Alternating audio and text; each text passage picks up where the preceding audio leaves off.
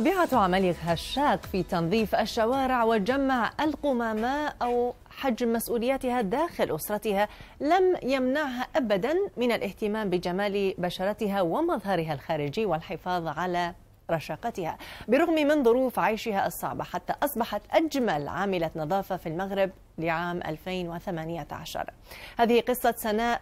معطاط التي توجت مؤخرا بلقب ملكة جمال عاملات النظافة في المغرب لتصبح بين عشية وضحاها واحدة من مشاهير البلاد بعد تداول صورها بشكل واسع على صفحات التواصل الاجتماعي والمواقع الإلكترونية وهي ترتدي الزي الرسمي الخاص بعاملي النظافة. حتى إن البعض لم يصدق أن تكون هذه الفتاة الفاتنة صاحبة الابتسامة الساحرة عاملة نظافة وهي التي تمتلك مظهرا يؤهلها لإيجاد عمل أفضل لكن هي تفتخر بمهنتها ولا تفكر في تغييرها أبداً.